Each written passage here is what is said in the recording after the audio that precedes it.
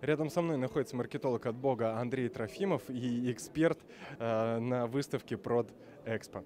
Андрей, э, расскажите, пожалуйста, про ваш род деятельности и чем занимается ваша компания. Ну, маркетологом от Бога вы меня, конечно, высоко назвали. Не боги горшки обжигают, но действительно я маркетолог и продвиженец. Ну, собственно, продвижение. Собственно, что? А вот как раз-таки вопрос про продвижение. Сейчас идет четвертый день выставки ProdExpo. Скажите, пожалуйста, какие недостатки вы заметили среди поставщиков вот в плане маркетинга именно? Недостатки, вот прям так. Э, очень любопытный вопрос. Э, действительно, на выставку я приехал поохотиться за, за свежим маркетингом, за, за, за идеями. И что видно и что бросилось в глаза, это то, что э, каталоги компании не дорабатывают. А, в плане не дорабатывают?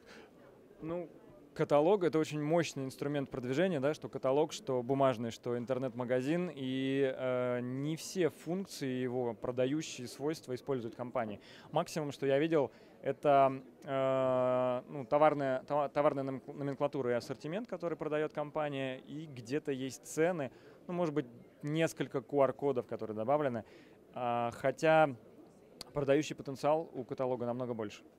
Андрей, а вот как раз-таки поговорили про недостатки, и вот нас смотрит большое количество поставщиков продукции молодых предпринимателей и так далее.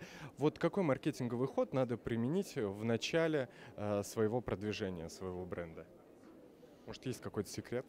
Я думаю, важно э, выделить одну целевую аудиторию, на которую э, работать компания будет максимально рентабельно, максимально маржинально и максимально деньго, ну, с максимальной деньгоотдачей.